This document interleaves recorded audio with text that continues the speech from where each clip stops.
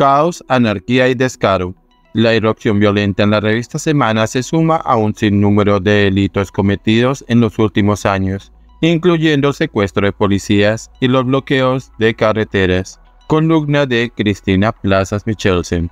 Recientemente hemos sido testigos de una serie de actos violentos llevados a cabo por la minga indígena. El propósito de esta columna no es solo condenar estos actos, sino también exigir que se haga justicia y que no se permita que la impunidad prevalezca bajo el pretexto de la autonomía indígena.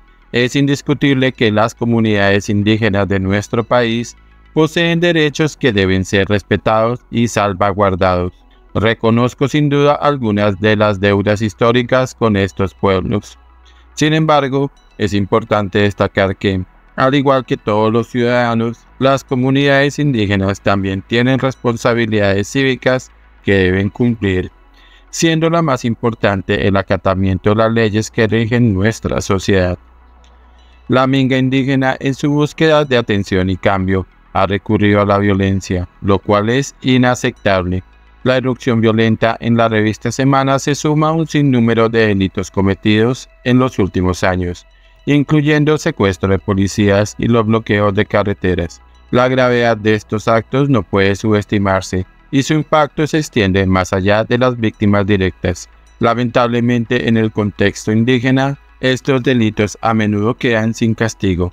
Es importante señalar que la irrupción en la revista Semana se debe en parte a la actitud del gobierno que ha contribuido a crear un clima tenso. Los ataques constantes a los medios de comunicación, en especial a esta revista, han fomentado un ambiente de hostilidad y desconfianza. Atacar un medio de comunicación equivale a privar a la sociedad de su capacidad para acceder a información imparcial y ejercer el escrutinio necesario sobre el gobierno y otras instituciones. En un mundo donde la información es poder, debemos proteger ferozmente esta libertad. Por eso la declaración por Twitter del presidente Gustavo Petro, que parece haber sido forzado a manifestarse en contra resultó ser totalmente desatinada y no acorde con la posición de un jefe de Estado, cuya obligación es salvaguardar la democracia y garantizar la libertad de prensa. El mensaje ni siquiera hace referencia a la minga. Aún más preocupante es el mensaje de la ministra de Trabajo que justificó estos hechos. La justificación de las vías de hecho se ha convertido en una constante del gobierno. No olvidemos la defensa de esta administración después del secuestro de policías argumentando que se trataba de un cerco humanitario.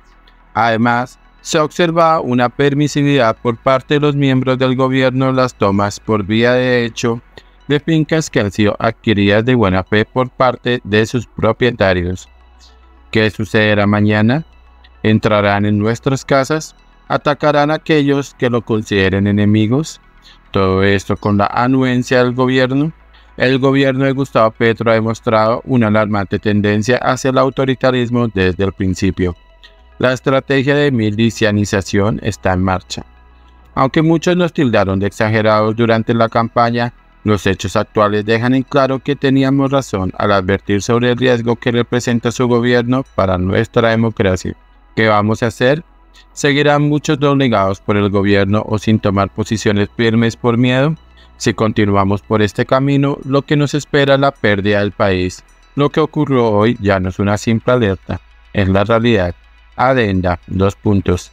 La campaña política descarada que está llevando a cabo Petro en apoyo a Gustavo Bolívar viola claramente todos los principios de transparencia.